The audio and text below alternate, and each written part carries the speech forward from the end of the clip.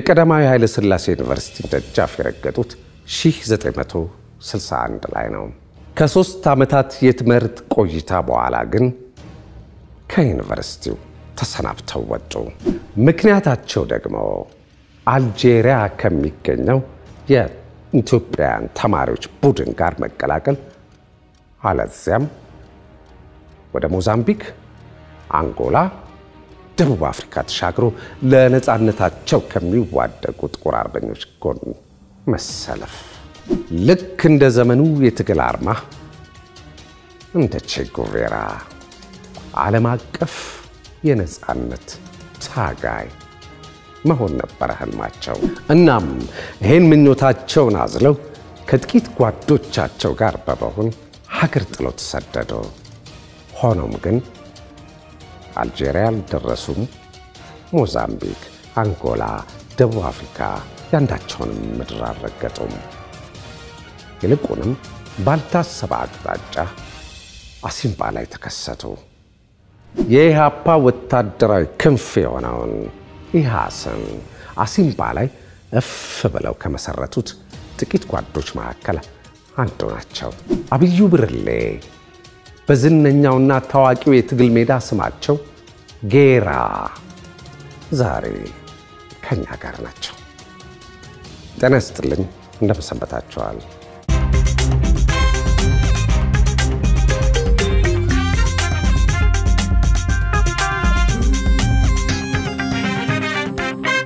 ሮባ፣ ሮብሌ፣ ጌራ፣ ጋይም፣ ጂግሳ፣ ደብተራው፣ ሳጅግ፣ ከሰተ፣ ኃይሌ ቀጭኑ፣ ገለብ ዳፍላ፣ ሀዲሽ ዛህላይ፣ ፀሐዬ ኦ እነዚህን የአሲምባ ልጆች በቅርበት ማውቃቸው ያህል ይሰማኛል።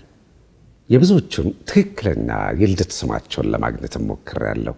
እነሆ ደግሞ ዛሬ ጌራን ለማየት በአካል ለማግኘት በቅቻለሁ። ጌራ፣ አብዩ ብርሌ እንኳን በደህና መጡ። እንኳን በደህና ቆያችሁኝ። ስለጋበዛችሁኝ በጣም አመሰግናለሁ። ጌራ በጣም ዝነኛ ስም ነው። በኢሃፓ የትጥቅ ትግል በኢሃሰ ሰራዊት ውስጥ በጣም ነው ደስ ያለኝ ስላገኘሁት። እኔም በጣም ደስ ብሎኛል። ኑሮና ሕይወቱ ሰሜን አሜሪካ ውስጥ መሆኑን ነው የማውቀው። በእርግጥ ከጥቂት ዓመታት ወዲህ ከቅርብ ጊዜያት ወዲህ ወደ ሀገር ቤት ገባ ወጣ እያሉ እንደሆነም ሰምቻለሁ። ይሄ መጀመሪያው አይደለም አይደለም ወደ ኢትዮጵያ ሲመጡ የሚሌኒየም ዋዜማ ነው ለመጀመሪያ ጊዜ የመጣሁት። የኢትዮጵያ ሚሌኒየም ዋዜማ በ1999 ዓ ም ያኔ ነው ለመጀመሪያ ጊዜ የመጣሁት። ከዛ በኋላ በየአመቱ ቀርቼ አላቅም። አንዳንዴ በአመት ሁለት ሶስት ጊዜ እመጣለሁ። ሀገር መርዳት አለብኝ ብዬ ወስኜ የአቅሜን በቴክኖሎጂም በእውቀትም ሽግግር ለመርዳት በየአመቱ እመላለሳለሁ። ሀገር ለቀው ከወጡበት ከ1963 በኋላ አዲስ አበባን ተመልሰው የረገጡት 1999 ላይ ነው። ልክ ነው። ከስንት ዓመት በኋላ ከ35 ዓመት በኋላ ድንገት ነው አንድ ማለዳ 1933 ላይ እብስ ብለው የሄዱት። አዎ፣ እንደዛ ነው የሚመስለው አካሄዴ። በጣም የሚገርም ነው። ህይወቴን ነው የቀየረው ሙሉ በሙሉ ያው መጽሐፌም ላይ እንደገለጽኩት ግን ብዙ አውጥቼ አውርቼበት ነው እና እንግዲህ ከተማሪ እንቅስቃሴ ጋር ስለሚገናኝ በዛ አዎ። አሁን የመጡበት የተለየ ምክንያት አለ። የአሁኑ አመጣጡ አሁን የመጣሁት መጽሐፌን ለማስመረቅ ነው። በሀገር ፍቅር ጉዞ በሀገር ፍቅር ጉዞ የሚለውን መጽሐፍ ቅጽ አንድ ቅጽ አንድ በጣም በጣም በጣም ዳጎስ ያለ መጽሐፍ ነው። ልክ ነው ረጅም ነው። 590 ገጾችን የያዘው ልክ ነው። ቅጽ አንድ። ስለዚህ ቅጽ ሁለት አለ ማለት ነው። ቅጽ ሁለት እንግዲህ አስባለሁኝ። ቅጽ ሁለት በተለይ ስለ አሲምባ ነው የሚያተኩረው።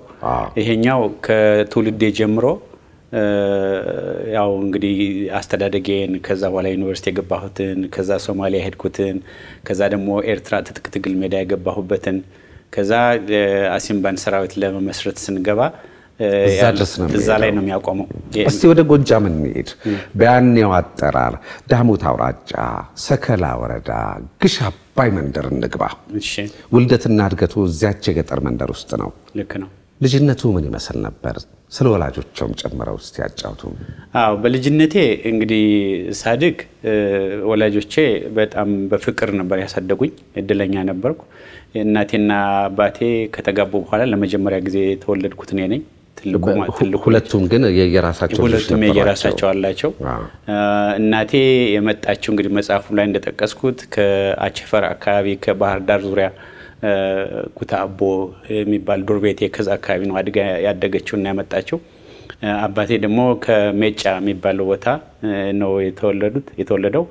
ከዛ እንግዲህ ሰከላ አባታችን ወረዳ ፍርድ ቤት ሆኖ ይሰራ ነበርና እናታችን ከወላጆቿ ጋር ስትመጣ በሆነ ጉዳይ ከዛ እንግዲህ በጣም ቆንጆ ነበረች፣ ወጣት ነበረች ሁልጊዜ እንደሚወራውና አባታችን ፍቅር ይዘዋል። ከዛ ቤተሰቦችን ያስፈቅዶ ከዛ ይጋባሉ። እናቶ ግን አረን አልፈልግም ብለው ነበር። አዎ አዎ።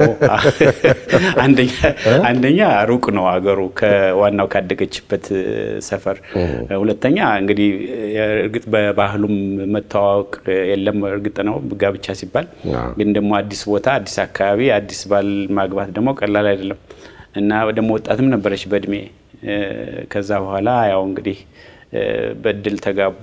ከዛ እንግዲህ እኔ የተወለድኩ እዛው ነው እንግዲህ ግሽ አባይ እንዲያውም ከግሽ አባይ ይድብ ትባል ነበር ግሽ አባይ መንደሯ ያኔ ከተራራ ላይ ያለች ትንሽ መንደር ነች እና ከተራራ ወደታች ትንሽ ቤቶች ነበሩ ወደ ሁለት ሶስት የሚሆኑ እዛ ነው የተወለድኩት።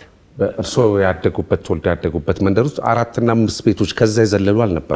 በኋላ ከዛች ተወልጄ በአንድ ዓመት ውስጥ ወደ ይድብ ከተማ እንደ ትንሽ ከተማ ነበረች፣ ወረዳ ከተማ። ወደዛ አባታችን ሙቭ አደረገ፣ ተሻገረ። ምክንያቱም ከታች ተነስቶ ተራራውን እየወጣ ነበር የሚሰራው ነበር። በኋላ ግን ሩቅ ነው በሚል ቤት ሰርቶ ተራራዋ ጋር ወጣ። ተራራውም ጋር ወጠን ትንሽ መንደር ነበረች። ያው የገበያ ቅዳሜ ገበያ ሌሎች እየመጡ ይገናኙባታል። የመንግስት መስሪያ ቤቶች ነበሯት፣ የወረዳ ፍርድ ቤት፣ ፖሊስ ጣቢያ የመሳሰለው። ድሮ በጣሊያን ጊዜ አርበኞች የደጃዝማች ዘለቀም ሌሎችም አርበኞች መሽገው የተዋጉባት ነች ነው የሚባለው። ታሪክ ያላት ቦታ ነች። ደጃዝማች ዘለቀ ደስታ እና እነሱ እንግዲህ ከነበላይ ዘለቀ ጋር ያው ግንኙነት የነበራቸው ናቸው ብዙዎቹ። ትምህርት ቤቱም ራሱ ደጃዝማች ዘለቀ ደስታ በሚባል ትምህርት ቤት ነው እኔ የገባሁት። የአንደኛ ደረጃ ትምህርት አዎ። መቼስ የአንደኛና ሁለተኛ ደረጃ የትምህርት ዘመኑ ምቾትና ድሎት ያልጎበኘው ይልቁንም ችግርና መከራ የፈተነው ደስ አይነት ነገር ነው። ግን ደግሞ ከመጽሐፉ እንደተረዳሁት እርሶም ሆኑ ሌሎች ጓደኞቹ ምንም ያልበረደውና ያልቆረቆረው አይነት ሆናችሁ ነው ዘመኑን የተሻገራችሁት። አልጋ ባልጋ አልነበረም ህይወታቸው፣ ትምህርታቸው እጅግ አድካሚ ነበረ። ከሚለበሰው ከሚበላና የሚጠጣው ጭምር። እስቲ ስለ እሷ ትንሽ ትውስታ። ነው፣ አልነበረም። እንደ አጋጣሚ ሆኖ የትምህርት ፍላጎት ከፍተኛ ነበረኝ። እኔም ገና በልጅነቴን የገባሁት አላውቅም። እንዲያውም ትምህርት ቤት ስገባ ትምህርት ቤቱም አዲስ ነበር ግን በትምህርት በድል ደህና ጎበዝ ስለነበርኩኝ አንደኛ አንደኛ ስለመወጣ በትንሽ መንደር ስለሆነች ስማችን የመጠራት አለ። አባቴም በጣም ያደፋፍረኛል። በጥሩ ሁኔታ ነበር እና አሁን ሶስተኛ ክፍል ድረስ ነው እዛ ያለው። ከሶስተኛ ክፍል ጨርሼ ወደ ሰላም መሄድ ነበረብኝ። ከዛ ብዙ ችግር የገጠመኝ እናቴ አትሄድም እያለች ነው። ትንሽ ልጅ ነህ በሚል ገና እንዴት አድርጎ ነው ሊሄድ የሚችለው ይሄ ልጅ የሚል እና ያኔ ገና አስር አይሞላ ወደ አስር አካባቢ ከዛም በታች ነበር እንዲያውም ልሄድ ስል ከዛ ብዙ ታስቸግርናል። ጠፍቼ ለመሄድ ብዙ አደረኩ ገና በልጅነቴ። መጨረሻ ላይ እዛ መጽሐፉ ላይ እንዳየው በታምር ነው የሄድኩት እንዳጋጣሚ እና መጨረሻ ላይ አስተማሪ የማባጎሳ ምንላቸው ይሄ ልጅ እንዴት ሲጠፋ አንድ ነገር እንዳይደርስበት እና ብሄድ ይሻላል አሉ። ከደብረ ማርቆስ ዘመዳችን መጠው ነበረ እሳቸው ጋር እንዲሄድ ተደረገ ወደ ደብረ ማርቆስ። እኔ ደግሞ ፍኖተ ሰላም ነበር ማልመው። ከዛ ደብረ ማርቆስ እጄ ብዙ ችግር ይገጥመኛል። መጽሐፉ ላይ የጠቀስኩት አለ። ከዛ ተመልሼ እንደገና ወደ ፍኖተ ሰላም መሄዳለሁኝ። ፍኖተ ሰላም ቅርብ ዘመድም አልነበረንም እና ያኔ ገና አስር ዓመት አካባቢ ነበርኩ እና ለጊዜው አንድ ዘመድ አባቴ ያስጠጋኝ። አራተኛ ክፍል ገባሁ። ከደብረ ማርቆስ እንግዲህ መጽሐፉ ላይ እንደጠቀስኩት ሊያቆዩኝ ነበረ። ሶስተኛ ነው የምትገባው፣ አንተ ከገጠር ነው የመጣኸው፣ ግሽ አባይ ወይ ቋንቋ የሂሳብ ችግር አለ ምናምን ብለው አልፈልግም ብዬ ራሴ አምጬ ነው እንደገና ወደ ፍኖተ ሰላም የሄድኩት እና ያኔ ምንድን ነው አንደኛ የትምህርት ፍላጎትም ከፍተኛ ስለነበረኝ ችግሩን እቋቋመዋለሁ የሚል ነው ግን ገና በልጅነት ስለወጣሁ ብዙ ብዙ እንትን ነበር። እናቴ ትናፍቀኝ ነበር። በተለይ ወንድሞቼ ይናፍቁኛል፣ ጓደኞቼ ይናፍቁኛል፣ ቤተሰቡ ይናፍቀኛል። እሱ ትንሽ በጣም አስቸግሮ ፈተና ሆኖብኝ ነበር። ከዛ ግን ትምህርት ቤት በመግባቴ በጣም ደስ አለኝ። በኋላ እንዲያውም ያጎቴ ልጅ በቀለ ብዬ ጠቀስኩት መጣ። ከእሱ ጋር ሆነን እንዲያውም በቀላ ቤት ገባን። ፍኖተ ሰላም ገብቼ ትምህርት ቤት በጣም ቆንጆ ነበር። የፍኖተ ሰላም ትምህርት ቤት ያኔ የቀዳማዊ ሥላሴ ትምህርት ቤት ነው የሚባለው የነበር በጣም ውበት ያለው ትምህርት ቤት ነው የነበረው እና እዛ በቃ ህይወት የተቀየረ ትምህርት ላይ አተኮርኩ። በትምህርቴም በጣም እየጎበዝ ሄዱ። ግን ባላገር ነበርኩ እንደዛ ምክንያቱም ለማውራት ሁሉ ጓደኞቼ ጋር እሳቀቅ ነበር የመሳሰለው እና ቀስ እያልኩ የተላመድኩ ሄድኩ። ደግነቱ በትምህርቴ በጣም እየጎበዝኩ ሄድኩ። ትምህርቱ ላይ ብርቱ ነው። እርሶና በዙሪያው የነበሩ ተማሪዎች ትምህርታችሁ ላይ ጎበዝ ናችሁ። አብራችሁ ደግሞ የሴት ሳይሆን ኃይለኛ የጠላ ፍቅር ነበራቸው። እሱ ነው በጣም ያስደነቀኝ። ከጥናት በፊት ሁሉ የተወሰኑ ጣሳዎችን እንደው ቸለስ አድርጋችሁ ነው ወደ ጥናት ሁሉ የምትገቡት እና ደግሞ ስካር የሚባል ነገር የለም። ምንድን ነው የጠላው ፍቅር? ያ ሁሉ ተማሪ ጠላ መውደዱ ምንድን ነው? አይ በጣም ጥሩ ጥያቄ። እንዲያውም አልፎ አልፎ ካልሆነ በስተቀር ውሃ አትጎነጩ። ውሃ አንጠጣም። ውሃ መንገድ ሲከድ ነው የሚጠጣው እንጂ ውሃ የሚባል ነገር አንጠጣም። መንገድ ሲከድ ከምንጭ ጨልፈን ምናምን እንደዚህ በእጃችን ነው የምንጠጣው ነበር እንጂ በተረፈ በጉሮሯቸው አውርድ። አዎ ቤት ውስጥ ልጆችም ሁነን ጠላ ቅራሪ ነበር የምንጠጣው ነበር እና ጠላ ባህል ነው። ጎጃም ውስጥ ጠላ የሌለው ቤት መቼም አይኖርም። ሌሎች አልፎ አልፎ ጠጅም ይኖራል እና ከልጅነታችን ጀምረን ቅራሪም ቢሆን እየጠጣን ነው የምናድገው እና ያ እንትን አለ እና ደግሞ አያሰክረንም። ለምደነዋል፣ ሰውነታችን ተላምደዋል። እና ትምህርት ቤትም ሄደን ያንን አናቆምም። የግድ እንዲያውም በተለይ ደብረ ማርቆስ high school ስገባ በ group ሁልጊዜ እየሄድን ጠላ እንጠጣ ነበር። ፍኖተ ሰላምም ቢሆን ገና ትንሽ ነው። እኛ ወደ 11 ዓመት አካባቢ ነን፣ ግን ከፍ የሚሉት አሉ። እንሄድና ቅዳሜና እሑድም ቢሆን ጠላችን ቁጭ ብለን እየጠጣን እንስቃለን፣ እንጨዋታለን። ያው የወጣቶች እንትን ከዛ ሌላ ምንም አናረግም ከጠላ መጠጣት ሌላ አሁን እንዳለው ወጣቱ ወደ ሌላ ነገር አንሄድም ወይ ወደ ማጨስ ወደ ጫት ምናምን አናውቀውም። እንዲያውም ጫት ፍየል ነበር የሚበላው ነበር የምንሰማው ያኔ እና ጠላችን ግን መዝናኛችን ነው። ተከትሎት መጣ አዲስ አበባ ድረስ። አዲስ አበባ ዩኒቨርሲቲ ሲመጡ ጠላ ቤት ከተማዋን እስኪ አዲስ አበባ ልጎብኛት ብለው ሲዞሩ ወደ ልደታ አካባቢ ጣሳ ተመልክተው ጠላ ቤት ሁሉ ገብተዋል። እንደ ነገ ትምህርት ሊጀመር አዲስ አበባ ዩኒቨርሲቲ እንዲያውም የዛለት ለመጀመሪያ ጊዜ? ለመጀመሪያ ጊዜ ህይወት የተቀየረ ከሴት ጋር አደሩ። ቃላቱን እንግዲህ ምን እንደሚባል ምን እንደምለው ቸግሮኝ ነበረ። ግን ልክ ነው። እና 18 ዓመቴ ነው እና እስከዛ ድረስ አላቅም ነበር እውነቱን ለመናገር ያው ልጆቹ ነን። የሴቶችን ስናይ ደስ ይለናል፣ ልጃገረዶች የመሳሰለው። ግን ይሄ አዎ የግብረ ስጋ ግንኙነት የሚባል ነገር አናውቅም። እንግዲህ ጎረምሶች አንዳንዶቹ ሊሄዱ ይችላሉ፣ እኛ ገና ወጣቶች ነን። ከዛ በላይ ብዙ የሚሰማም ነገር አለ። ላይ ትክክል እንዳልሆነ ወይ ኃጢአት እንደሚሆን በተለይ የእርሶ ወላጅ አባት በመንፈሳዊ እውቀት እርሶን ሊኮተኩቱ ሞክረዋል። እና ያን ጊዜም ከዛች ቆንጅዬ የጎጃም ልጅ ልደታ ካገኘዋት አልጋ ላይ ጋድም ብለው የአባቱን ምክር ነበር የሚያስታውሱት። ሌሊቱን ሙሉ ይሄ ነገር ልክ ነው፣ ልክ አይደለም፣ ይሁን አይሁን፣ ከጋብቻ በፊት እኮ ወሲብ መፈጸም አባቴ እንደ ነውር ነግሮኛል ብለው ነው መጨረሻ ላይ ነው የተሸነፉት። ልክ ነው፣ የተፈጥሮ ጉዳይ ሆነ። ግን ልክ ነው አባቴ አሁንም ቢሆን በዚህ እድሜ አሁን እንግዲህ ወደ ሰባ ዓመት እየተቃረብኩ ነው እና የአባቴ እንትን በእድገቴ ላይ በሰውነቴ ላይ ብዙ ጊዜ አለ። በመንፈሳዊ እንትን ያሳደገኝ ችግርም ሲገጥመኝ ሁልጊዜ የአባቴ ምክሮች አሉ የሚመጡልኝ እና ገና ከትንሽነቴ ጀምሮ ታሪኮች ይነግረኝ ነበር። መጽሐፉ ላይ እንደጠቀስኩት የመጽሐፍ ቅዱስ ታሪኮች ብዙ ነበር የሚነግረኝ እና ደስ ይለኝ ነበር። ይዘምርልኝ ነበር። በጣም መዘመር ይወድ ነበር። ቅኔ ይችል ነበር እና የህይወቴን ጎዳና ሪሊ ለመምራት ትልቅ ሚና ተጫውቷል የአባቴ እናቴ ፍቅርና የአባቴ ደግሞ መምራት እስከ መጨረሻ ህይወቴ በፈተናም ላይ ሆኜ መጽሐፉ ላይ እንዳየሁ ምናልባት በትግልም ወቅት ይሁን ተሰድጀም ይሁን አሁንም አንዳንድ ነገሮች ሲገጥሙኝ የአባቴ ትዕግስት የአባቴ ምክር ብዙ ጊዜ ይመጣልኛል። ከኔ የበለጠ ጠንካራ ነበር እሱ እና ጠላት የሚባል ነገር አያውቅም። ሁልጊዜ እንዲያውም ጠላትን መውደድ የሚል ነገር ነው እና እስካሁን ድረስ አይገባኝም። አዎ እንደ ቅዱስ ነው በቃ እና ደግሞ በጥሩ እድሜ አግኝቶ ባለጸጋ ሆኖ ነው እሱም ህይወቱ ያለፈው። ግን እሱን ብዙ የሚያጠቁት ነበሩ በደግነቱ ደግ ስለሆነ ብቻ እና በብድር በገንዘብ ሁሉ በገንዘብ ብድር ከብቶቻችን ሁሉ በመስረቅ ብዙ ነገር እና ግን እንደዛ የሚያደርጉት የነበሩ እንደ ድል ሆኖ እነሱ ናቸው የተጎዱት መጨረሻ ላይ። እሱ በክብር ነው የተቀበረውም አገር ወጥቶ በኋላም ቋሪት እኔ አልነበርኩም ሲነግሩኝ እዛው ቋሪት ነው ያረፉት። ቋሪት ነው ያረፈው። ወርሃ መስከረም 1961 ዓመተ ምህረት ድንገት አንድ ማለዳ ትልቅ ክብርና ሞገስ በነበረው አንድ ለእናቱ በሚባለው የኢትዮጵያ ሬዲዮ የእርሶ ስም ተጠራ።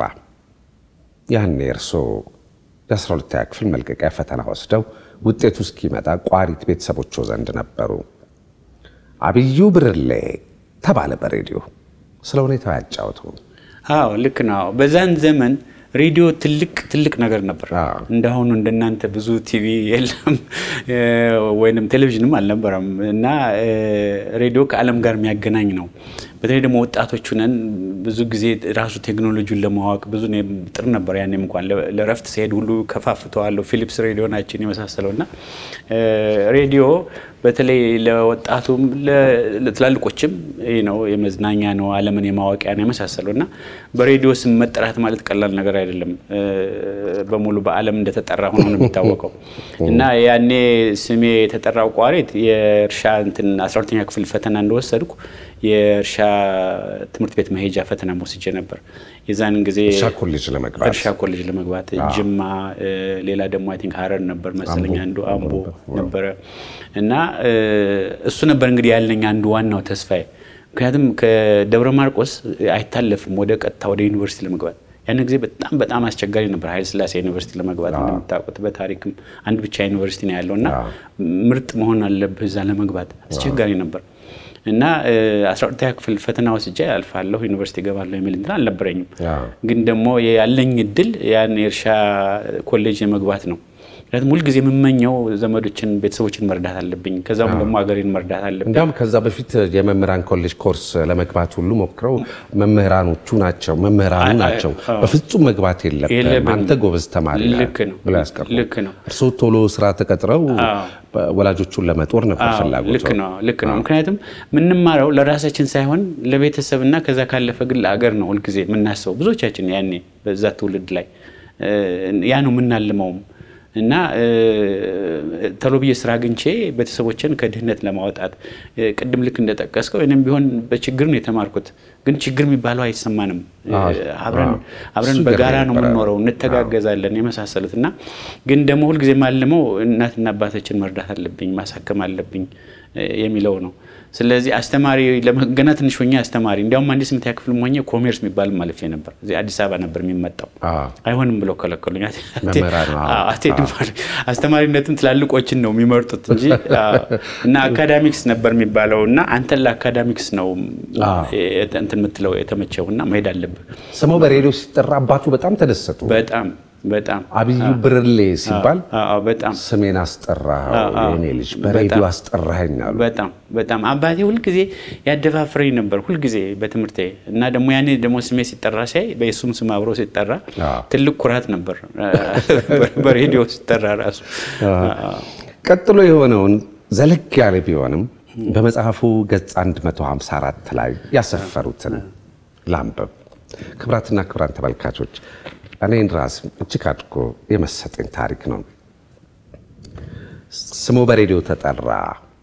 ጂማ ተመድበሃል ተባሉ። ቤተሰቡ በጣም ተደሰተ። ትልቅ ኩራት። እርሱ ራሱ ማመን ነበር ያቃቶት። ከዛ እንዲህ ይላሉ። ወደ ጅማ ከመሄዴ በፊት ደብረ ማርቆስ ንጉሥ ተክለ ሃይማኖት ትምህርት ቤት ሄጄ የአስራ ሁለተኛ ክፍል መልቀቂያ ፈተና ማጠናቀቄን የሚያሳይ ሰርተፊኬቴን ከስራ አስኪያጁ ተቀብዬ መሄድ ስለነበረብኝ ተቻኩዬ በመጀመሪያ ወደ እሳቸው ቢሮ አመራው። የትምህርት ቤቱ ስራ አስኪያጅ አቶ አለሙ አምቤ ይባላሉ። እኔም ሰርተፊኬቴን ተቀብዬ ለመውጣትና ከጓደኞቼ ጋር ለማውራት ቸኩዬ ስለነበረ ተራዬን ጠብቄ አቶ አለሙ ቢሮ ገባውና እጅ ነሳው። ገና እንደገባው እስከ ሕይወቴ መጨረሻ የማረሳው ዛሬም ድረስ እንደ ህልም ወለል ብሎ የሚታየኝ ታሪክ አጋጠመኝ። እስካሁንም በአእምሮ ተቀርጾ እያንዳንዱ ትዕይንት ቁልጭ ብሎ ልክ እንደ ፊልም ይታየኛል። ቢሮአቸው ከመግባቴና እጅ ከመንሳቴ ስራ አስኪያጁ አቶ አለሙ ፊት ለፊታቸው የተከመረውን ሰርተፊኬት ትንሽ መልክ አስያዙና ቀና ብለው አተኩረው አዩኝ። ማን ነው ስምህ አሉኝ። አብዩ ብርሌ አልኳቸው። አንተ ነህ አብዩ? አብዩ አንተ ነህ? አብዩ ብርሌ ብለው በመገረም አተኩረው እያዩኝ እንደገና ስሜን ጠየቁኝ። እኔም ምን ተፈጠረ ብዬ የሰራ አካላቴን ከላይ እስከታች ውርር አደረገኝ። እግሬና እጄ መንቀጥቀጥ ጀመሩ። አሁን እኔ ነኝ አልኳቸው። ልጄ ልጄ በጣም ጎበዝ ተማሪ ነህ። በጣም የሚገርም ተአምር ነው የሰራኸው። ያንተንና የወላጆችህን ብቻ ሳይሆን የንጉሥ ተክለ ሃይማኖትን ትምህርት ቤትና ከዚያም አልፎ የመላው ጎጃም ጠቅላይ ግዛትን ስም የሚያስጠራ ትልቅ ታሪክን የሰራው ወላጆች ሊኮሩብህ ይገባቸዋል ሲሉኝ ልቤ ደረቴን ፈንቅላ ልትወጣ ምንም አልቀራት። የምሰማውም ማመን አቃተኝ። ምን ሊሉኝ ነው ብዬ ለመስማት ጓጉቼ ትንፋሼ ልትቆም ምንም አልቀራት። በል እንግዲህ ተዘጋጅ። በትምህርት ቤቱ ታሪክ ታይቶ የማይታወቅ ከፍተኛ ውጤት አምጥተህ የአስራ ሁለተኛ ክፍል መልቀቂያ ፈተና አልፈ ኃይለ ሥላሴ ዩኒቨርሲቲ ለመግባት በቅተሃል ሲሉኝ የት እንዳሉ አላውቅም። ዓለም ዞረችብኝ፣ መቆም አቃተኝ። በደስታ ብዛት ልቤ እየረገጠች አፌን ከፍቼ ፈዝዤ እየተንቀጠቀጥኩ እንደ ቆምኩ አይተው ናና ና በል አይዞህ ና አትፍራ ብለው ሁለት እጆቻቸውን ከፍተው እንደ ክንፍ ዘረጉልኝ። ቀጥለውም እንደ አባቴ አንገቴን አቅፈው ይዘው ወላጅ የምታኮራህ ጎሽ የምታኮራ ልጅ ነህ። ምን ነው ሁሉም ልጅ ልክ እንዳንተ በሆነ እንዴት አይነት ግሩም ታሪክ ነው የሰራኸው ልጄ። በሌውል የምስክር ወረቀት ይሄን አዲስ አበባ ሄደህ ኃይለ ሥላሴ ዩኒቨርሲቲ ትሰጣለህ። ከዛሬ ጀምሮ አዲስ አበባ ለመሄድ ተዘጋጅ አሉ። ጎንበስ ብዬ እጅ ከነሳው በኋላ እጄ እየተንቀጠቀጠ ሰርተፍኬቱን ተቀብዬ እንደገና እጅ ነስቼ በደስታ ብዛት እግሮቼ እየተውገረገሩ መጓዝ አቅቶኝ መሰስ ብዬ ከቢሯቸው ወጣሁ። ከዚያም አንገቴን ደፍቼ በደስታ ብዛት ስቅስቅ ብዬ ማልቀስ ቀጠልኩ። አባቴ አጠገቤ ቢኖር እንዴት ደስ ባለኝ ነበር። ገና ከልጅነቴ ጀምሮ ከሁሉም በፊት ስለ ትምህርት ውጤቴ ለመንገር የምጓጓው ለአባቴ ነበር።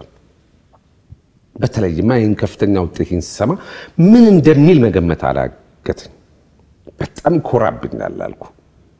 በኋላ እንደተረዳሁት ከብቸኛው የጎጃም ጠቅላይ ግዛት ሁለተኛ ደረጃ ትምህርት ቤት ከንጉሥ ተክለ ሃይማኖት የአስራ ሁለተኛን ክፍል መልቀቂያ ፈተና ከተፈተኑት 78 ተማሪዎች መካከል እኔ ብቻ ፈተናውን አልፌ ቃሃስ ዩኒቨርሲቲ በቀጥታ ለመግባት በቃው። ኦ የአለቃ ብርሌ ልጅ ዩኒቨርሲቲ ኮሌጅ ሊገባ ነው እየተባለ ወሬው ከቋሪት አልፎ ወደ ሰከላ ተዛመተ። ቀስ በቀስም ወደ እናቴ ሀገር አቸፈርና ዱር ቤቴ ባህር ዳር ሳይቀር ዘለቀ። በቤተሰብና ዘመድ ዙሪያ በሙሉ ዝናዬ ተወራ።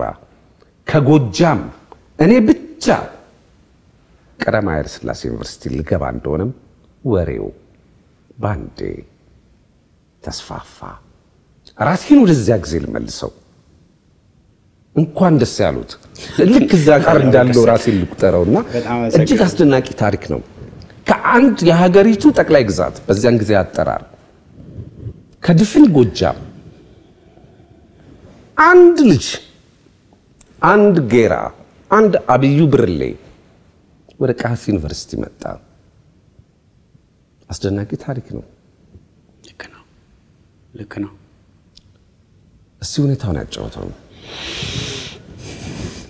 በጣም አመሰግናለሁ። እኔ emotional ያደረገ ይቅርታ ስሜት because ይቅርታ ስለ አባቴ ምናምን ሲነሳ አንዳንዴ እንባ ይመጣብኛል እና ልክ ነው ይሄ ፋሽን ዋጥ ይሁን ግን ያውጡት እንደተመቹት በቃ ልክ እንዳነበብከው ነው አቶ ደረጀ። ምክንያቱም በዛን ወቅት እንግዲህ ትልቅ ህልም ነው ያለን። ያንን ትልቅ ህልም ደግሞ ልናደርገው የምንችለው ልንደርስበት የምንችለው በትምህርት ነው ብለን ነው የምናምነው። ለትምህርት ከፍተኛ ከፍተኛ የሆነ አድናቆትና ድጋፍ ነበር በወላጆችም ከተማርክ የወላጆችን ችግር ትፈታለህ፣ ቤተሰቦችን ታናናሾችን ታስተምራለህ፣ አገር ትረዳለህ እና ለትምህርት በጣም ከፍተኛ የሆነ ግምት ነበር የሚሰጠው እና እኔም ማልመው እሱን ነው የነበረው። ግን ምንድን ነው ችግሩ? ኃይለሥላሴ ዩኒቨርሲቲ ለመግባት በጣም ጠባብ እድል ነበር የነበረው በተለይም ከጠቅላይ ግዛት እሱን ነው። ምንድን ነው ያጠበበው እድሉን? ምንድን ነው ያከበደው? ምንድን ነው ተአምር ያደረገው? በነገራችን ላይ ከአስመራ አካባቢና ከዚህ ከወደ አዲስ አበባ ካሉ ተማሪዎች በስተቀረ ከሌላው በዚያን ጊዜ አጠራር ከሌላው ጠቅላይ ግዛት ተማሪ አይመጣም ወደ አዲስ አበባ ወደ ቃስ ዩኒቨርሲቲ ወይ ቢመጣም በጣም ጥቂት ነው። ከአምስት ያነሰ ሁለት፣ ሶስት፣ አራት እንደዛ ነበር የሚመጣ የነበረው። አንደኛ አንድ ዩኒቨርሲቲ ነው። ሁለተኛ በጠቅላይ ግዛትም ብዙ ጊዜ አንዳንድ እንትን ሁለተኛ ደረጃ ትምህርት ቤት ከፍተኛ ደረጃ ትምህርት ቤት አንዳንድ ትምህርት ቤት ነው ያለው። እና የኃይለ ሥላሴ ዩኒቨርሲቲ ራሱ ምርጥ ነበር የሚቀበለው የነበር እና እንግዲህ የአስመራና የአዲስ አበባ ለምንድን ነው በርካታ የሚመጡት የሚለው የተለያየ መላምት አለ የሚያቀርቡት። ምናልባት አንዳንድ research ምናልባት የሚያስፈልገውም ይሆናል። አንዱ አዲስ አበባ እንግዲህ ያሉ ትምህርት ቤቶች የተሻለ እንትን አላቸው፣ የተሻለ ፋሲሊቲ ያላቸው መጽሐፍት አላቸው፣ ጥሩ አስተማሪዎች ይኖሯቸዋል። እሱሱም ሊሆን ይችላል። የአስመራም እንደዚህው በተለይ ንጉሱ ለአስመራም ትልቅ ትኩረት ነበር የሚሰጡት የነበረ በትምህርትም በስልጣኔም በመሳሰለውም በኋላ ችግር ይፈጠር እንጂ እና ከጠቅላይ ግዛቶች ግን አሁን ያኔ እኔ ራሴ ሁለተኛ ደረጃ እያለሁ መጽሐፌም ላይ እንደጠቀስኩት መጽሐፍ የማንበብ ልምድ እንኳን ብዙ የለንም። በተለይ መጽሐፍት ቤት ሄዶ እንግሊዝኛ መጽሐፍትና text book ም ብዙ የለም። እርግጥ የአማርኛ መጽሐፍቶች ጥሩ ጥሩ ባህላዊ መጽሐፍቶች ነበሩ። ያኔ እነ ጦቢያ እነ ራሴላስ ፍቅር እስከ መቃብር የመሳሰሉ እንደ ወጣች ቀረች። እሱ ሁሉ አለ። እና በጣም ግሩም የሆኑ የስነ ጽሁፍ እንትን ነበረን። አስተማሪዎቻችን የሚያስተምሩን ከዩኒቨርሲቲ የመጡትም እዛም ያሉትም ግን ለትምህርት ለመማሪያ የሚሆን የሳይንስ የጂኦግራፊ የሂሳብ የመሳሰሉት ነገሮች አንደኛ በቂም የለም። ሊትሬቸርም የማንበብ ልምድም ያን ያክል የለም እሱም አንዱ ችግር ሊሆን ይችላል። እና ከፍተኛ የሆነ ትጋት ይጠይቃል እንደዛ ለማድረግ። ያም ሆኖ አሁን እኔ በተለይ መጀመሪያ 11 ክፍል በደ ማርያም የሚባል የገለጽኩት እሱን ነበር አልፋለሁ ብዬ ዩኒቨርሲቲ ለመግባት ተስፋ የነበረኝ ምክንያቱም በደ ማርያም ያንን ፈተና ተወስዶ ከዛ እዚህ መጣና 12 ክፍል ይገባል ኃይለ ሥላሴ ዩኒቨርሲቲ። አሜሪካ እሱ ደግሞ ሌላ እድል ነበር። እሱ እንዲያውም በጣም ጠባብ እድል ነው። የ Field Service የሚባለው? American Field Service? ከዛ እንደተመለሰ ከአንድ ዓመት በኋላ በቀጥታ ያለምንም ፈተና የ12 መልቀቂያ ፈተና ሳይሰጥ ወደ ዩኒቨርሲቲ መግባት ይቻላል። እሱንም አሸንፈው ነበር ይጠራጠራሉ። እሱን ላልፍ የሚችልበት እድል በነገራችን ላይ ደረጀ የሚል ስም ይደብሩታል። በነገራችን ላይ ይቅርታ አድርግልኝ አቶ ደረጀ ብዙ ስሞችን ቀያይር ያለው መጽሐፉ ላይ እና ደረጃ አይደለም ያለች ምን ነው ካልጠፋ ቦታ ደረጀን እንደ በመልካም ገጽታ ገጸ ባህሪ ለምን ያን አንተዋወቅም ነበር አቶ ደረጀ። መጽሐፉ ላይ ኦኬ። የትምህርት ቤቱ የዳይሬክተሩ ወንድም ነው። ወንድም ነው እና ፈተና እንደበለጣችሁት ታውቃላችሁ። እሱ እንደበለጡት ልጁ እስከዚህም ተማሪም በእውቀትም አልነበረም። ነገር ግን የ American Field Service ለሱ ተሰጠና እንግዲህ ፈተናውን ፈተናውን በጽሁፉ ፈተና እኮ እኛ ነበር ያሸነፍነው እኔ እንዲያውም አንደኛ ነበር መሰለኝ የወጣው ለደረጀ ተሰጠ። ግን ስሙን ቀይሩ። ስሙን ቀይረዋል። በለጠ ወይ ምናምን እንለዋለን። እና አሁን ለዛ ነው አሁን ይሄ ዩኒቨርሲቲ መግባት በጣም ጠባብ እድል ነው በየቦታው የነበረው። ዩኒቨርሲቲ ተገብቶም እንኳን በኋላ ምናልባት ታሪኩ ላይ አይተዋል፣ እርግጠኛ ነኝ። እዛም እኮ እየተጣራ ነው የሚሄደው። በአንደኛ ዓመት ላይ ብዙዎች ይወጣሉ። ክርስማስ የገና ማዕበል እና ወደ ምናልባት አንድ ሺህ ከምናምን እንኳን ቢገባ በጥቂት መቶዎች ናቸው መጨረሻ ላይ እንትን ጨርሰው ግራጁዌት የሚመረቁት። እና እንደዛ ጥብቅ ነው የነበረው። ትምህርቱ ጥሩ ነው የነበረው እንደገለጽኩት እንደሚመስለኝ፣ ግን መግቢያው ላይ ነው። መግቢያው ትልቅ ትልቅ ችግር ነው የነበረው። እና የእኔ እንግዲህ ያኔ በተለይ ከጎጃም ሲባል ለቤተሰቦች አሁን ድረስ ወደ ባህር ዳር አካባቢ ሲሄድ ያኔ አጎቶቼ እስካሁን ታሪኬን ይናገራሉ። ከአንድ ተራራ ጥግ ከአንድ ድሀ ቤተሰብ ከአንድ እልም ያለ ገጠር ውስጥ የበቀለ ልጅ አንድ እሱ ወደ ቀሀስ ዩኒቨርሲቲ ሲመጣ በእውነትም ይደንቃል። ልክ ነው፣ ልክ ነው። እንዲያውም እኔ ታሪኬን ጻፍኩ እንጂ አምሹር ሌሎችም አሉ እንደዛ። ምክንያቱም ያኔ ድህነት አይዘንም ነበር ለመማር ጥቂትም ሆነን አሁን ደብረ ማርቆስ አካባቢም እንደ አይተው ይሆናል መጽሐፍ ላይ አብረን በእንትን ነበር የምንኖረው ቤት እየተከራየ በጣም ነበር የምንደጋገፈው። ከኔ የሚብሱ ድሆች ነበሩ፣ ግን ድሃነን ብለን አይሰማንም ነበር። እሱ የገረመኝ ቅድም የሚያነሳው እሱ ነው። እንዲህ አይነት መከራው ችግሩ አይሰማችሁም። እየሳቃችሁ እየተፈሪ እያደርጋችሁ ነበር ትምህርታችሁ። ጠላ ለመጠጣት ለመግዛት ስንሄድ ሁላችንም ፍራንክ የለንም ግን አንድ ሁለት ያለው እሱ ያወጣና ደግነቱ አምስት ሳንቲም አስር ሳንቲም ነው። አምስት ሳንቲም አስር ሳንቲም ነው። አንድ ብርጭቆ አንድ ብርጭቆ አንድ ብርጭቆ ጠላ አምስት ሳንቲም ነበር መሰለኝ፣ ወይም አስር ሳንቲም ነው ቢበዛ። በማንቆርቆሪያ እናደርጋለን ሀያ ሳንቲም መሰለኝ ማንቆርቆሪያው። እንዲያውም ግን ሀያ ሳንቲሙ አይገኝም። አይ እንዴ ከየት ይመጣል? እሱም እኮ መገኘት አለበት። ምክንያቱም ብዙዎቻችን ዘመድ ማይረዳቸው አሉ። አሁን የኔም እኮ አባቴ አሁን እቆርጥልሃለሁ አለኝ፣ ግን አምሳ ብር እንኳን አይመላም ነበር ደሞዙ እና እንዴት አድርጎ ዘጠኝ ብር እየከፈለ ሊያኖረኝ ይችላል በየወሩ? በጣም አስቸጋሪ ነበር። እና ለዛ ነበር አሁን አንድ ጓደኛ ያነሳሁት አሰፋ ጥላሁን ምለው። እሱ የሀብታም ልጅ ነበር እና እንደጋገፍ ነበር። ሳምቡሳ ስንሄድ እሱ ነበር የሚከፍለው። አባሊ ቤት ያልኩት። በወር ሶስት ብር ነበር የምናወጣው እና በወር ሶስት ብር? አዎ፣ ለአስር አስር ሳንቲም ነው ቁርስ ሻይ እንደዚህ ሻይ ደንበኛ ሻይ ራሳችሁ ስጽፉ አይቆጣጠራችሁም። እሳቸው ምንም እምነት ነው። ምንም መዝገቡ ላይ ጽፈን አስር ሳንቲም ብለን እንሄዳለን። በወር ሶስት ብር ትከፍላላችሁ። ሰላሳ ቀን ቁርስ በልታችሁ አዎ ምን ምንድን ነበር የምትበሉት? አንድ ሳምቡሳ እና አንድ ሻይ ከራበን አንዷን ሳምቡሳ ከጨመርን 15 ሳንቲም ብለን ጽፈን እንሄዳለን። ደብተሯ ላይ ደብተሯ ላይ ከዛ በኋላ እሱ ምንም አያውም፣ ስራውን ነው የሚሰራው። ማንም ያጨረብር የለም።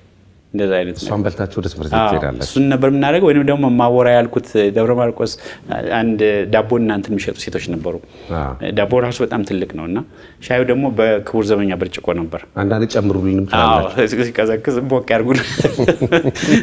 እንደዛ እናደርጋለን። እንደዛ ሆናችሁ ነው የተማራችሁ? እንደዛ ነው እንደዛ ነው በቃ እና አሁን ብዙዎች እንደዛም ሆነው አስተማሪ ለመሆን ወይንም ደግሞ አየር ኃይል ለመሄድ ወይም technical እንትን ለመሄድ እና ከዛ በኋላ ዘመድ ለመርዳት ወላጆቻቸውን ለማገዝ ወንድሞቻቸውን ታናናሾቻቸውን ለማስተማር በቃ ሁል ጊዜ ሀሳብ ውስጥ ነው። ምንም የሁላችንም ዓላማ በኋላ ምናልባት ወደ ፖለቲካ እንትን እያል ወደ ሀገር የሚለው እያሸነፈ ይመጣል እንጂ ያው ነው በቃ እንደዛ ነው የብዙ ሰው ዓላማና ህልም የነበረው።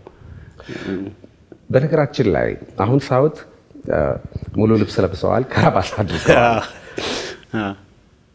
በ1961 ዩኒቨርሲቲ ሲገቡ የለበሱት ሱፍ ከነ ከረባት ትውስ ብሎ ነው። ልክ ነው። ከገጠር ነው የሚሄዱት፣ ግን psychologically ራሱን አዘጋጅተዋል። በጣም ዘናጭ መሆን አለብኝ ብለዋል። እና አባቱ ከሀምሳ ብር ያነሰ ደሞዝ ነው ያገኙት። መቶ ብር ወሰዱ ለሱፍ። ከረባት አደረጉ። ሙሉ ሱፍ ግጥም አድርገው ሄድኩ ወደ ትምህርት ግቢ ገቡ። እሺ ምን ሆነ? የእሱ ታሪክ እንግዲህ የሱፊ አባቴን እንዲያለብሰው ይፈልጊ አልነበረም። ምን ይባል ነበር? አሁንም አንዳንዴ እናወራለን ከኔ ትውልድ ጓደኞች ጋር ምን ይባል ነበር? ዩኒቨርሲቲ ለመግባት ሱፊ ያስፈልጋል፣ ክራባት ያስፈልጋል የሚል ዜና ነበረ፣ ወሬ ነበር። እንግዲህ እንዴት ከየት እንደመጣ አይታወቅም። አሁን አንዳንዶች የሚሉት ልክ ነው እንደ ባጅ ነገር ይደረግ ነበር ቀደም ብሎ ይላሉ።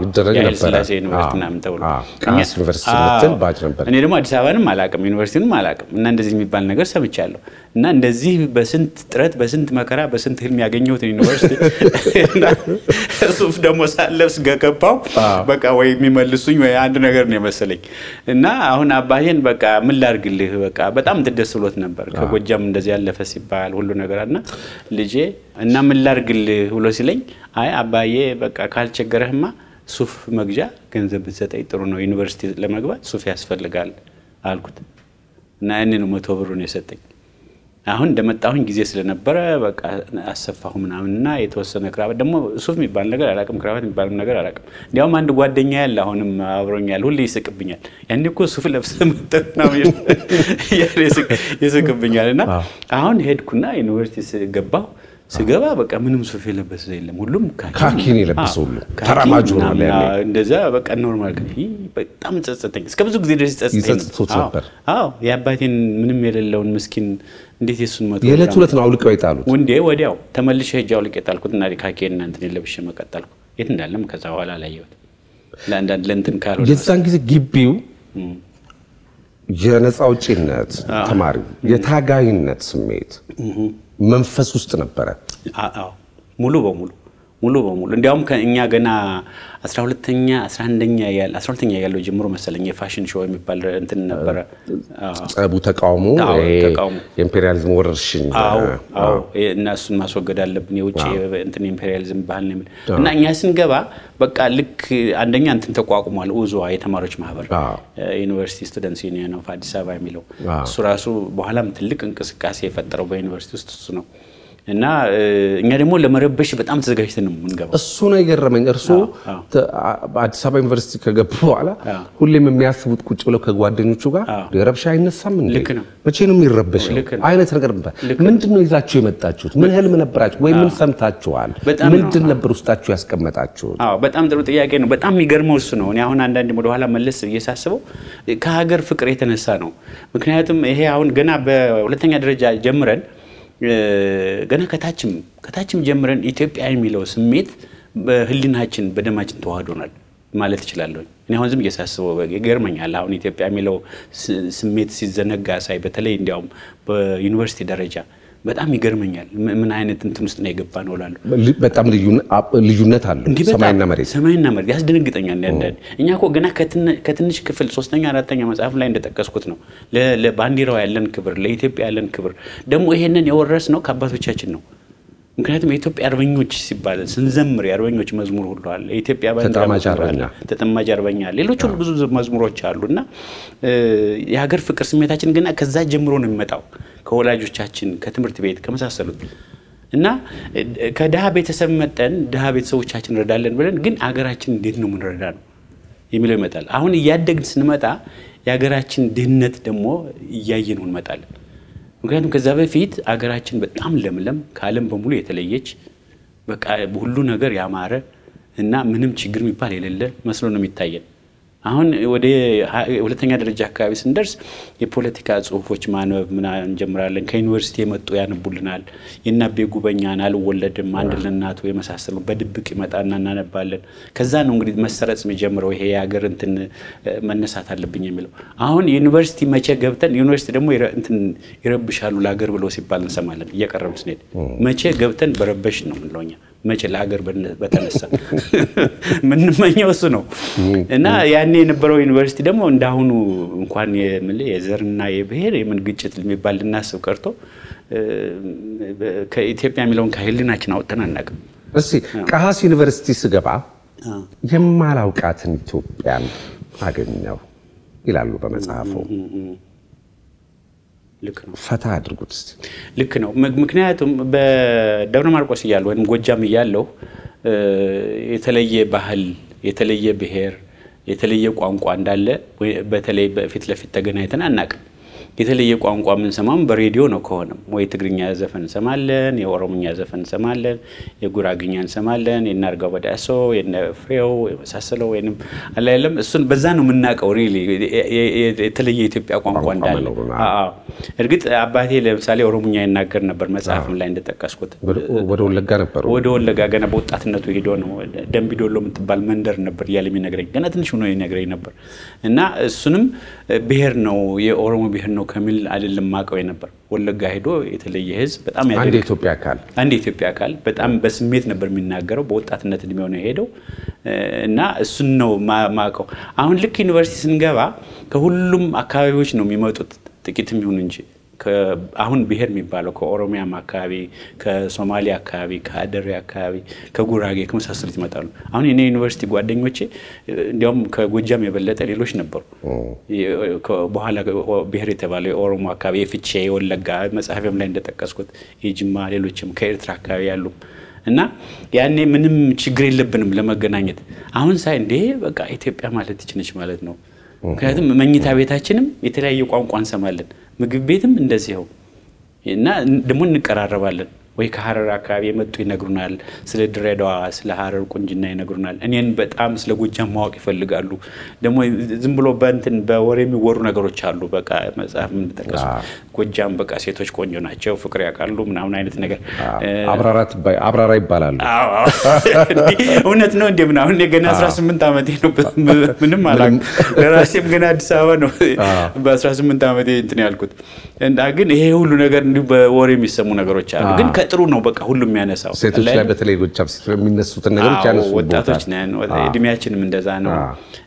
ከዛ እንግዲህ ከሌላ ስለ ከፋ አካባቢ ስለ ቡናው ስለምን እና አሁን ያኔ ነው ኢትዮጵያ እውነትም ሰፋ ያሉ በርካታ ቋንቋዎች የተለያዩ ብሔሮች የተለያዩ ባህሎች ያሏት ናት ማለት ነው። ምክንያቱም እንግባባለን፣ እንነጋገራለን፣ እንወያያለን እና እሱ ትልቅ እንትን ነበር የዩኒቨርሲቲው መድረክ ነበር ለማገናኘት ብዬ ገምታለሁ ህዝቦችን።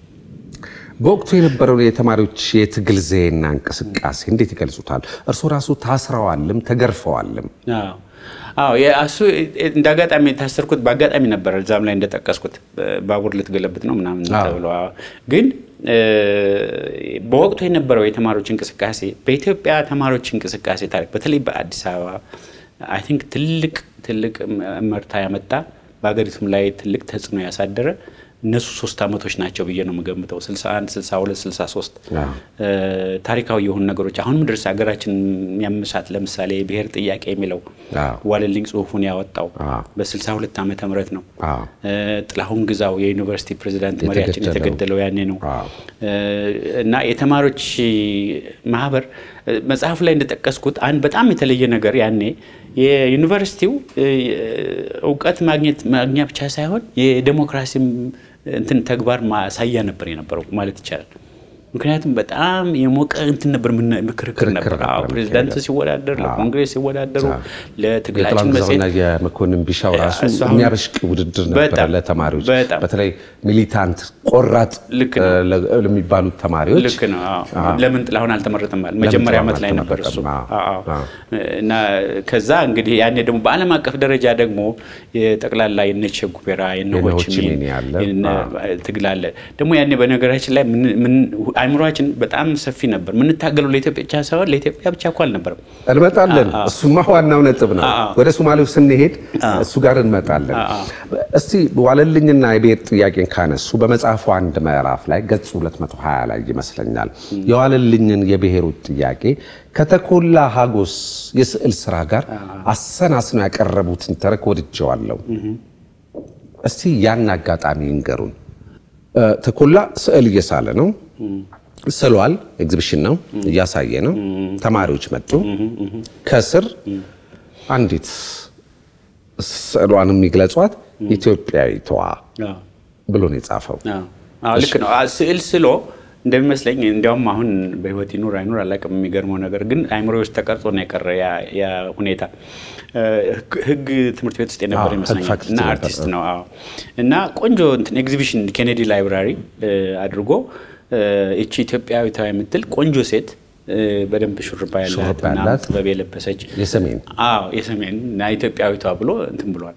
አሁን እየዞርኩኝ እንደ አጋጣሚ ነው የሄድኩት። እዛ እየዞርኩኝ ኤግዚቢሽኑ ነው ያለው። እዛ መጀመሪያ floor ላይ የተደረገ ኤግዚቢሽን ነው እና አሁን እያየሁ ሲሄድ ከዛ ኢትዮጵያዊቷ ከሚለው አጠገብ ይከራከራሉ ከአርቲስቱ ጋር የተወሰኑ ተማሪዎች እና ምን ማለትህ ነው ይሄ ኢትዮጵያዊቷ እንዴት ትላለህ? ይሄ እኮ የአንድ ብሔር ወይም የገዢው መደብን እንትን የሚያንጸባርቅ ምክንያቱም ያኔ ፖለቲካው ምን ነበር የገዢው መደብ የሌላው ዚያን ሰዓት የዋለልኝ የብሔሮች ጥያቄ የሚለው መነጋገሪያ ያኔ አካባቢ መነጋገሪያ በሆነበት ሰዓት አካባቢ ነው። እሱ ላይ ነው እንግዲህ ንቃቱን ምን ያክል እንደሚመጣ እና እኔ ራሴ ዝርዝሩን አላውቅም።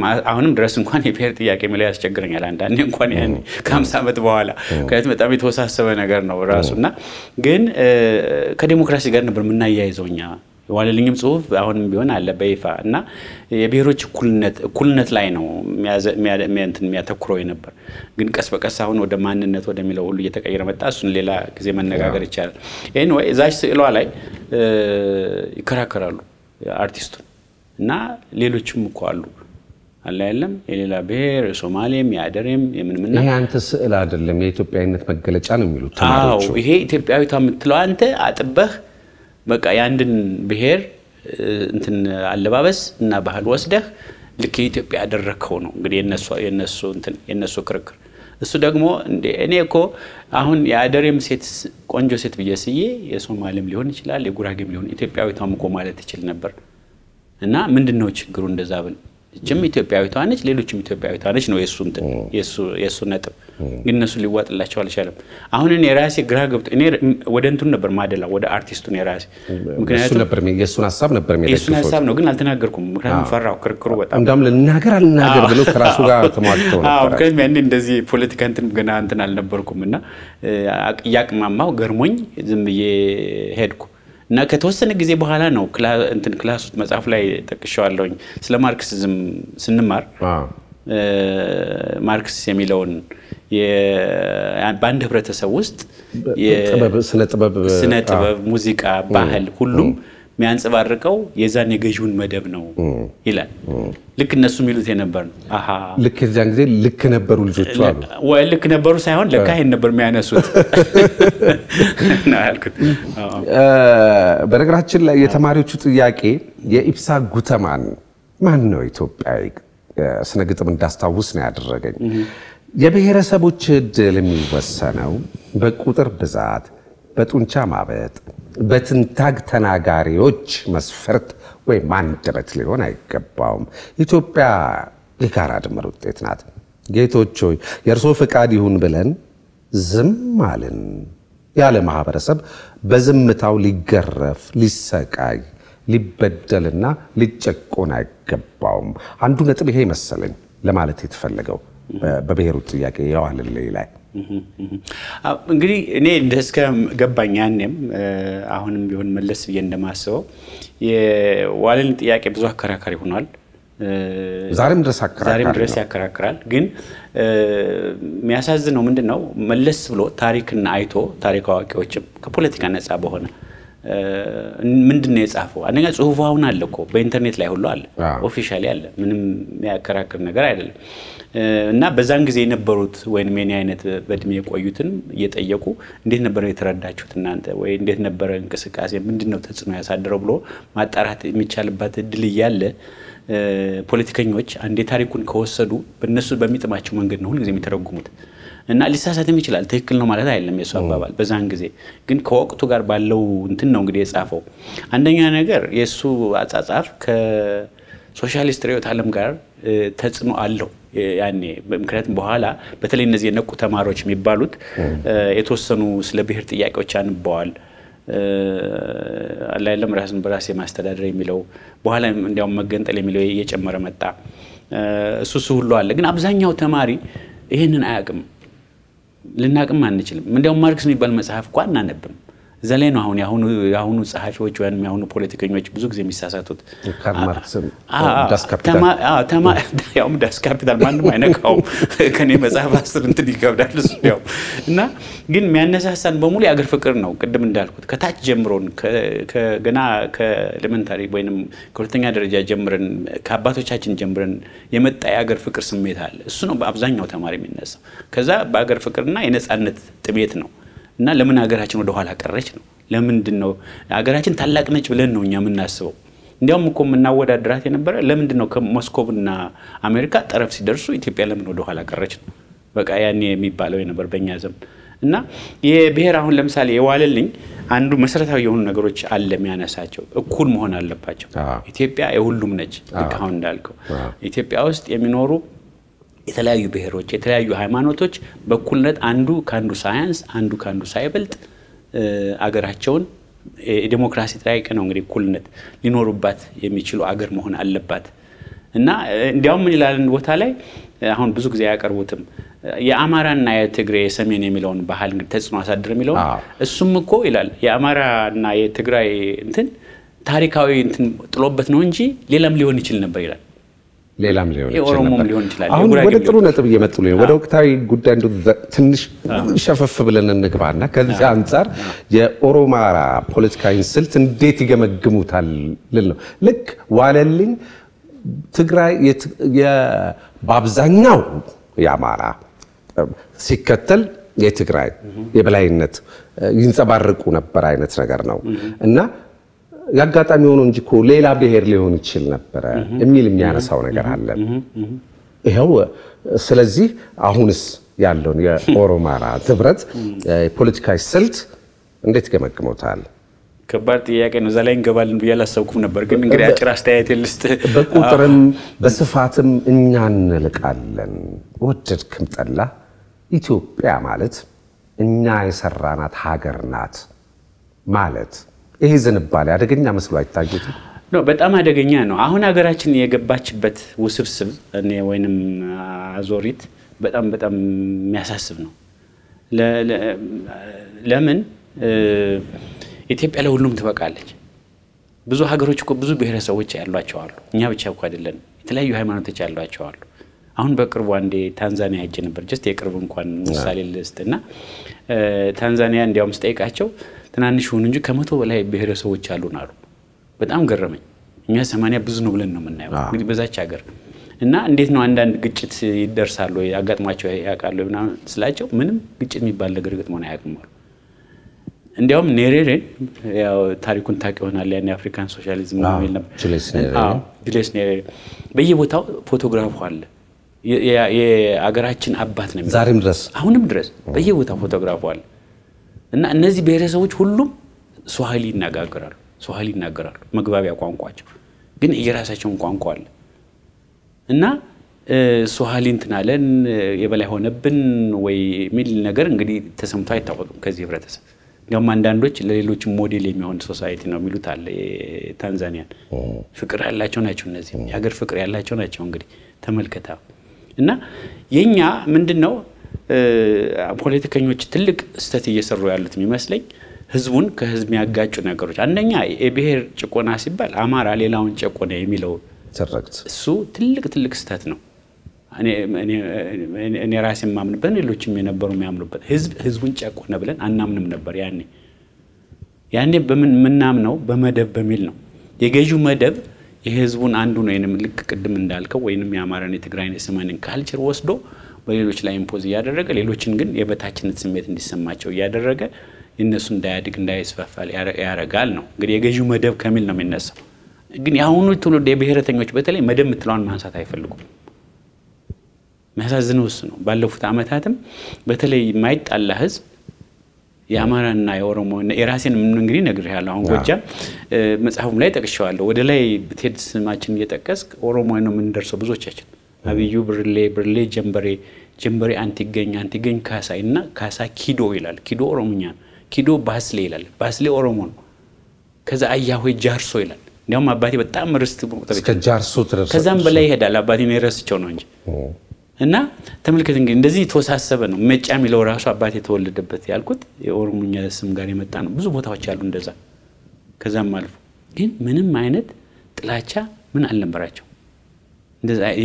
በሃይማኖት ምን አሁን የእስልምና ሃይማኖት የሚከተሉ ጓደኞች ነበሩኝ። ምንም አንዱ የተለየ እንትን አልነበረም።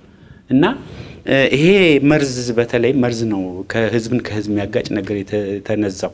አሁን የሚያስ- የሚያስ- የሚያስፈራው የሚያሳዝነው ምንድን ነው? አዲሱም ትውልድ ተበከለ በዛ እና በዩኒቨርሲቲ ደረጃ እንግዲህ ተመልከት፣ በዩኒቨርሲቲ ደረጃ ነገ ሊረከቡ የሚችሉ የምትላቸው ወይ ያላይልም የሳይንስም በለው የቴክኖሎጂም በለው የ social ሊቅ ሊሆኑ የሚችሉ አገሪቱ የሚረከቡ በዛ የሚያልፉ ናቸው ብንል በዛ ደረጃ በብሔር በዘር በጎጥ ከተጣላ እንግዲህ ኢትዮጵያን ከረሳ ምን ይባላል?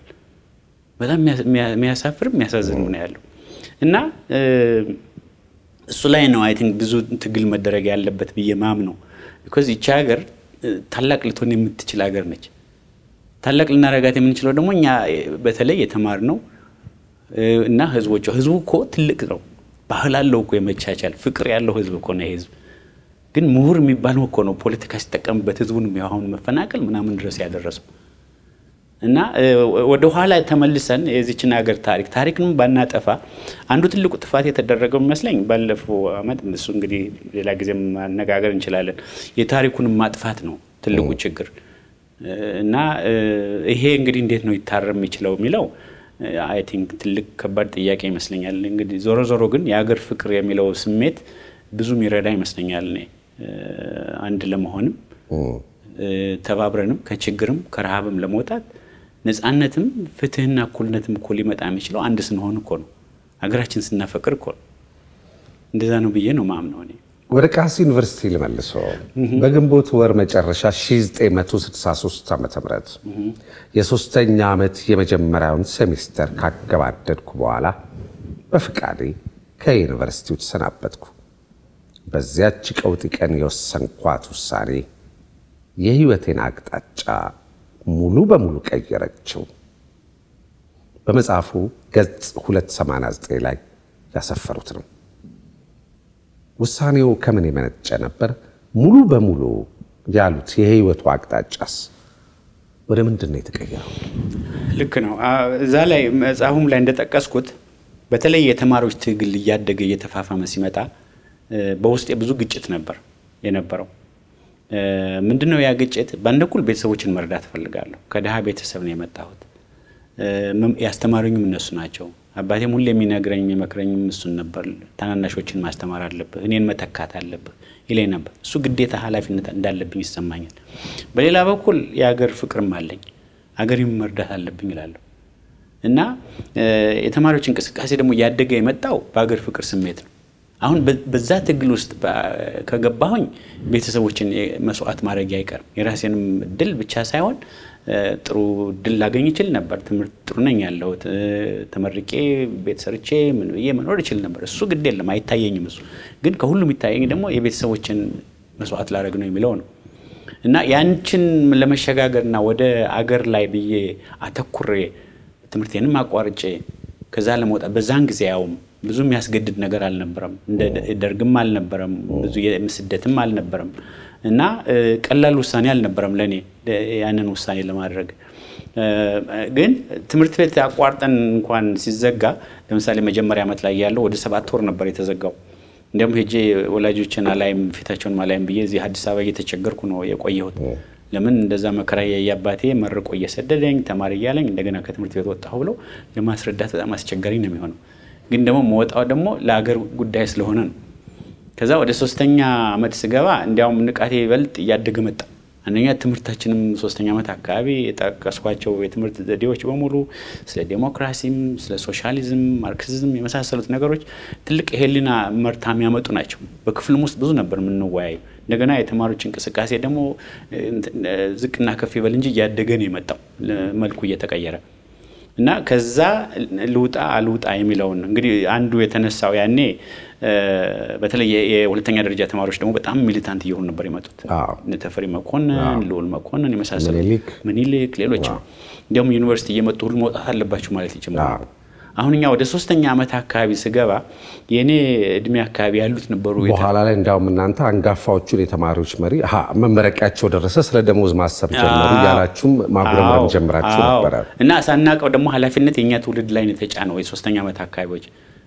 የቅርብ ጓደኞች ናቸው ምላቸው ናቸው እንትን የተመረጡት። ስሙን የጠቀሱት ተማሪ ታሪኩ ለምሳሌ የተማሪዎች ፕሬዚዳንት ነው የሆነው። እስክንድር ታሪኩ ደብረ ጽዮን ታሪኩ ደብረ ጽዮን አሁንም አለ በህይወት አሜሪካን ሀገር። እስክንድር ተሰዋ እሱ የእንግሊዝኛ እናነሳዋለን። እስክንድርንም ኃይሉንም ብርሃኑንም እናነሳቸዋለን ላይ። አሁን እንደዛ ሲሆን እንግዲህ ሳናውቀው በዛ እንትን ውስጥ ገባን፣ በትግሉ ውስጥ ገባን። መጨረሻ ላይ ያን ውሳኔ እንውጣ እንውጣ የሚለውን መወሰን ነበረብኝ። ትምህርት አቋርጠን አሁን ትምህርት አቋርጬ ከወጣሁ ያው ቤተሰቦችን በሙሉ መስዋዕት ማድረጌ ነው ማለት ነው። የራሴ እድል ትምህርት አቋርጠን ምን ለመስራት ጥሩ ጥያቄ ነው። እሱ እንዲያውም ብዙ ያታገልን እሱ ነበር። አንዱ ዋናው ምንድን ነው የኛ ዓላማችን ህይወታችን ለአገር ለትግል የተሰጠ ነው ግምስት ነው። በቃ የትግሉ ነው ህይወቴ። በጣም ጥሩ። በኋላ የሀባው እሱ እንዲያውም በደንብ ይገልጸዋል። የትግሉ ነው ህይወቴ። ከእንግዲህ ወዲያ ጀምሮ ህይወቴ የሀገር የትግል ነው ነው ከዛ በየደረጃው ምን እናደርግ የሚለውን ስትራቴጂ መጀመሪያ ላይ ብዙ ችግር ገጥሞን ነበር። ምንድን ነው የምንሰራው የሚለውን አንዱ ምናምነው ንቃተ ህሊናችን ማሳደግ የሚለው ነው። በኋላም የተከተልን ሰው ማንበብ አለብን፣ መከራከር፣ መወያየት አለብን በጣም ብዙ ታነብ በኋላ እንዲያውም የቆየም በኢህአፓም መጨረሻ ላይም የነበረው እሱ ነበር። ምክንያቱም ንቃተ ህሊና ካላደገ ካላነበብክ እንዴት አድርገህ ነው ስለ አገር ልታስብ የምትችለው? መፍትሄ ሌላው ማንቃትና ማደራጀት እንዴት አድርገህ ትችላለህ? ግን እዛ ላይ ነው እንግዲህ የርዕዮተ ዓለም ተጽዕኖ ምናምን የመሳሰሉት ነገሮች የሚመጡት። ምክንያቱም መመሪያ ይፈልጋል ወጣቱ ትኩስ እድሜ ነው ያኔ እና መጽሐፍ ማንበብ ብቻ አይደለም። መጽሐፍ ብዙ ነው። በኋላ ምን ማንበብ እድል ያገኘው በተለይ እስር ቤት ሶማሊያ እያለን እና ምን እናደርግ የሚለውን ወጠን የወሰንነው ከብዙ ውይይት በኋላ ነው። አምስታችን ተገናኝተን ግን ያችን እንትን ለማለፍ ለመሻገር ትምህርቴን ላቁም የሚለው ቀላል ጥያቄ አልነበረም። በዛን ጊዜ በተለይ ምክንያቱም የሚገፋ ብዙም ሁኔታ አልነበረም። የራሳችን ውሳኔ ነበር። በነገራችን ላይ በቀሃስ ዩኒቨርሲቲ ቆይታው እነ መሐሪ ዮሐንስ ሲመሩት የነበረው የጎጃም ማህበር የጎጃም ልጆች የሚሰባሰቡበት ጎጃምን እናብልጽግ እኛ ጎጃሞች የሚል አይነት ቀበልኛ አይነት ነገር ያለበት ስብሰባውም ላይ ተካፍሎም ያውቃሉ። እርሱ አንድ ጊዜ ሄጃለሁ። እንዴት አልማረኮትም? እንደ ጎጃሚነቱ እንዴት አልማረኮትም? ይልቁንም እርሱ ከኢትዮጵያ አልፎ እስከ አፍሪካ ነፃነት ትግል እዛ ድረስ የሚዘልቅ መንገድ ውስጥ እንዴት ሊገቡ ቻሉ? እኔ ለኢትዮጵያ እታገላለሁ፣ ለኢትዮጵያ ሕዝቦች ነፃን እኩልነት የትግሉ ነው ህይወቴ። እሱም ባጣ ልክ ነው። ሞዛምቢክ፣ አንጎላ፣ ደቡብ አፍሪካ በመሄድ ለነፃነታቸው ከሚታገሉ ዜጎች ጎን ተሰልፌ እዋጋለሁ ነበረ አብዩ ጎረምሳው ሲል የነበረው። እንዴት የነ መሐሪ ዮሐንስ የጎጃም ልጆች ማህበር እንዴት አልማረኮትም? ክብራትና ክብራን ተመልካቾቻችን ጌራ አብዩ ብረሌ የኢሃፓ ወታደራዊ ክንፍ ኢሃሰ እፍ ብለው ከቆረቆሩት ጥቂት ጓዶች መካከል አንዱ ናቸው። ለዚህ ጥያቄ የሚሰጡትን ምላሽ ሳምንት በተመሳሳይ ጊዜና ሰዓት ጠብቀውን። እስከ ሳምንት ቸርን ሰንብት።